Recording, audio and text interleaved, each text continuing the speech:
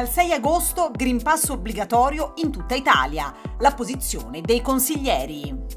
Ingegneria è nato il più grande consorzio della Toscana, tre eccellenze del settore riunite nel progetto Smart Solution Consortium.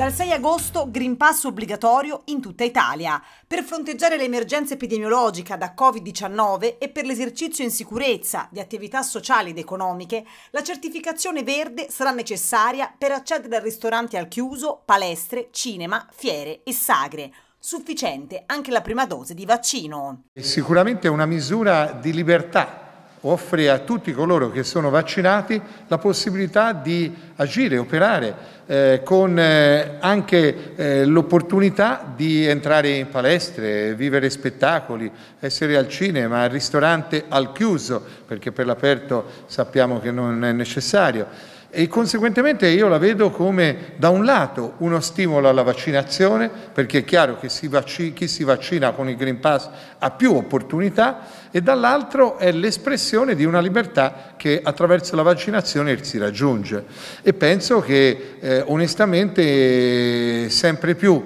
abituandoci a convivere con eh, la presenza di un Covid che eh, sarà sempre più ristretto nei suoi ambiti perché sempre più saranno le vaccinazioni, è evidente che non si porrà nemmeno più il problema dell'uomo o della donna che non ha avuto la possibilità di vaccinarsi. Oggi coloro che vogliono, eh, è ragionevole, eh, hanno l'opportunità di vaccinarsi. Noi oggi eh, probabilmente raggiungeremo la soglia record di 40.000 vaccinazioni in un giorno. Vedo molti ragazzi, mi riferiscono dagli hub che arrivano giovani che anche nella prospettiva delle vacanze sono disponibili a farsi vaccinare sul momento, quindi invito tutti a fare così perché più si vaccinano, più lo stesso Green Pass diventa uno strumento di libertà. Stiamo vivendo giorni ancora molto complicati, la variante Delta è arrivata anche qui da noi e questo come dire, provoca ancora forte preoccupazione. Credo che la scelta del Governo sia una scelta corretta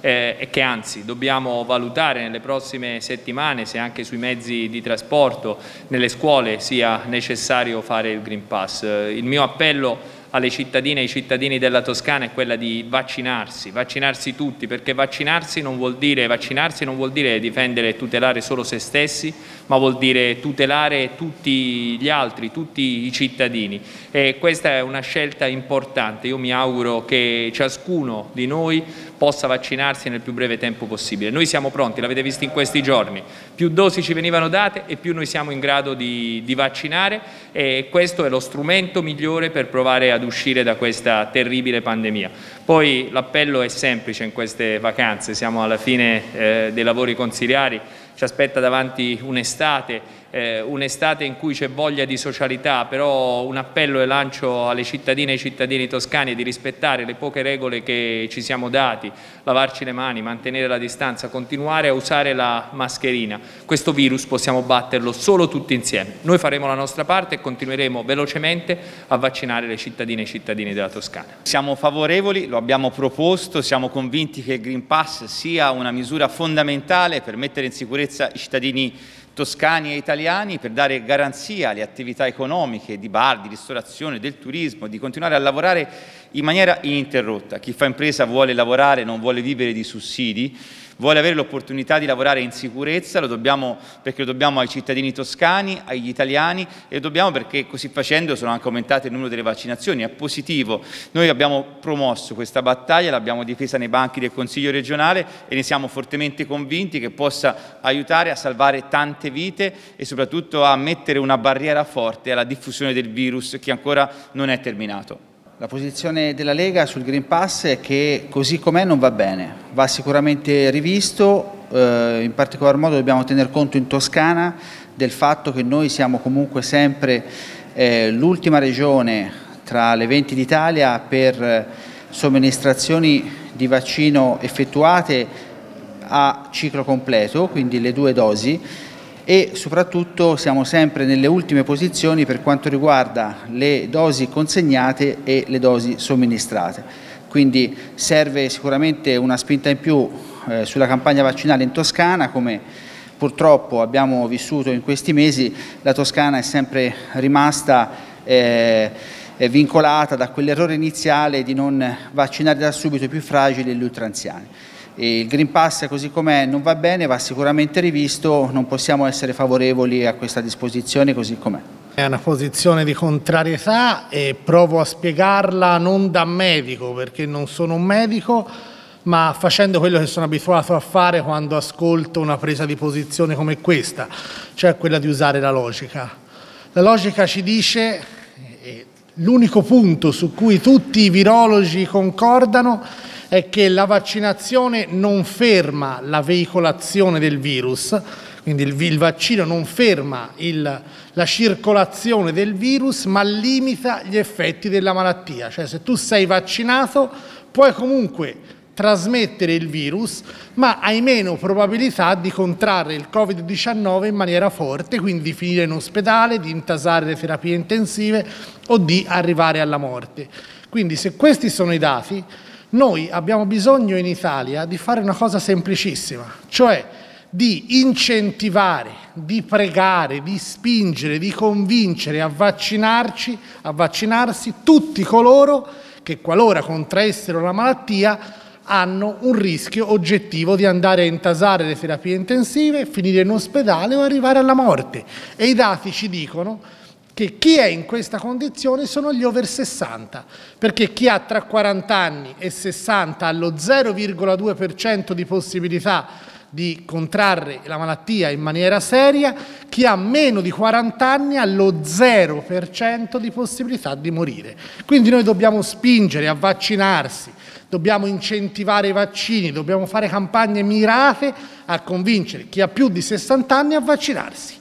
Cosa fa il Green Pass? Il Green Pass fa l'esatto contrario. Cioè il Green Pass limita la circolazione soprattutto di chi è più propenso a frequentare luoghi affollati, locali, ristoranti, treni, aerei e i dati ci dicono che sono esattamente gli altri. Cioè difficile, ci sono, ma difficile che un signore di 80 anni frequenti una discoteca, un locale notturno, uno stadio è molto più probabile lo frequenti un 35enne, un 25enne. Noi abbiamo sempre sostenuto che dal momento in cui uno si vaccina, quel vaccino deve portare anche alcuni benefici ci sono i benefici personali, i benefici che riguardano la collettività, ma quel beneficio però deve essere anche un beneficio che ti consente di andare in alcuni luoghi. Naturalmente noi siamo fermamente contrari al Green Pass per entrare nei bar e nei ristoranti, anche perché ci siamo posti un tema. Io vado, sono vaccinato, ho il Green Pass, vado a mangiare, ma dovrei avere anche la certezza che camerieri, ehm, cuochi, pizzaioli, eh, ho la stessa certezza devono avere il Green Pass, invece così non è non so se sono vaccinati e non so nemmeno se sono tamponati. Però quello strumento può essere uno strumento utile per esempio per entrare nei teatri, per entrare nei cinema, cioè per garantire a quei luoghi che sono stati chiusi fino ad oggi di avere una capienza piena. Guardate, gli aerei entri o con il Green Pass o con il tampone ma lo fai a capienza piena. Non si capisce perché se uno è tamponato non ha il Green Pass può andare a un teatro a capienza piena, può tornare al cinema a capienza piena, può andare a degli eventi sportivi a capienza piena. Allora sì, questo ha un senso. Naturalmente rimane per noi la libertà dell'individuo di scegliere, con la consapevolezza che dove finisce la tua libertà inizia quella dell'altro. Se uno non si vuole vaccinare ha tutto il diritto di non vaccinarsi, ma naturalmente deve avere anche delle restrizioni alla sua circolazione, perché più ci vacciniamo, lo dimostrano i dati che abbiamo di fronte oggi, più facile sarà tornare ad una vita normale, il che consentirà di tornare alle attività commerciali a vivere e poi rimane l'altro grande tema che è quello della scuola. Noi auspichiamo davvero che non ci sia più la didattica a distanza, per questo siamo favorevoli anche alla vaccinazione per i professori per garantire ai ragazzi di tornare in aula e di tornare in sicurezza. È stato importante rimodulare eh, l'utilizzo del Green Pass così come è stato rivisto dal governo centrale. Sottolineo però che perché eh, questo Green Pass possa essere uno strumento di sicurezza e non di limitazione per le persone, deve essere fondamentale che le regioni mettano a disposizione la possibilità di vaccinare vaccinarsi per tutte le persone, per tutti coloro che lo, che lo vogliono e devo dire che da questo punto di vista ci sono stati molti intoppi in Toscana per quanto riguarda l'accesso alle vaccinazioni e questo quindi ha creato una discrepanza in pratica tra quella che è la volontà di molte persone e quello che in realtà è stata la condizione in cui ci siamo trovati.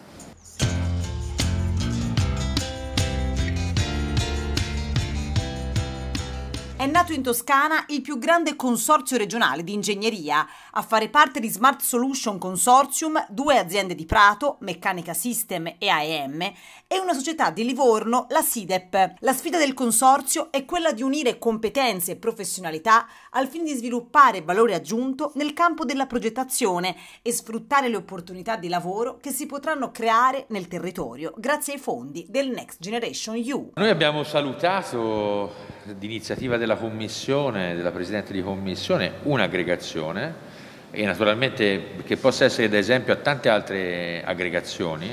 perché abbiamo bisogno sicuramente di consolidare, di solidificare di più i servizi qualificati, l'ingegneria a servizio dell'industria toscana nella cosiddetta eh, strategia della eh, specializzazione intelligente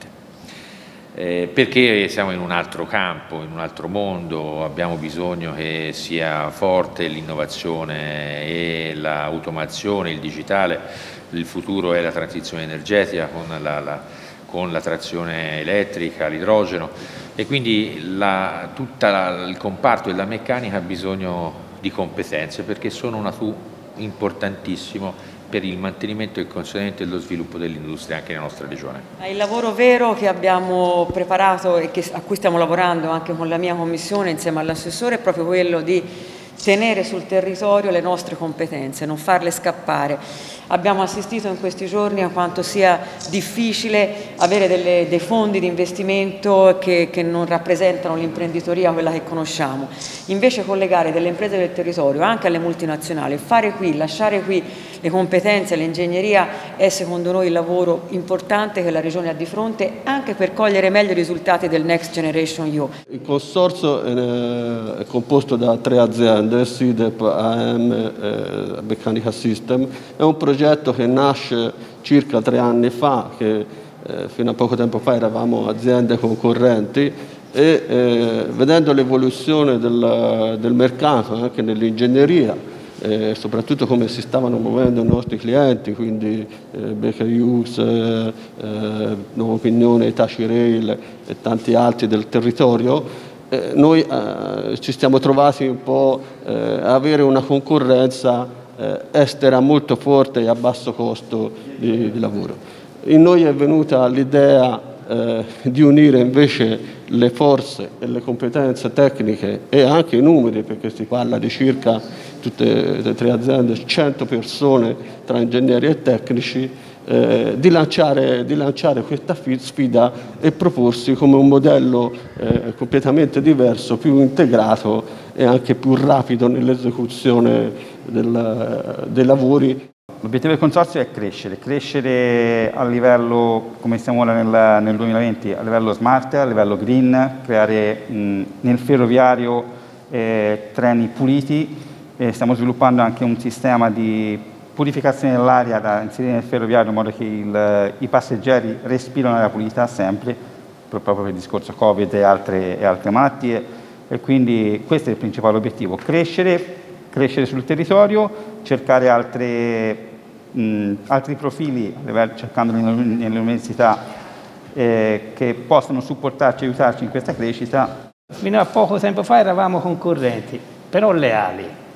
concorrenti eh, dove non c'è mai stata la voglia di sopraffare l'altro e questo poi ci ha portato ad unirsi insieme. Abbiamo già fatto un, un per progetto diciamo, con un'associazione temporanea di imprese abbiamo collaudato questa nostra collaborazione e abbiamo visto che funziona, funziona veramente,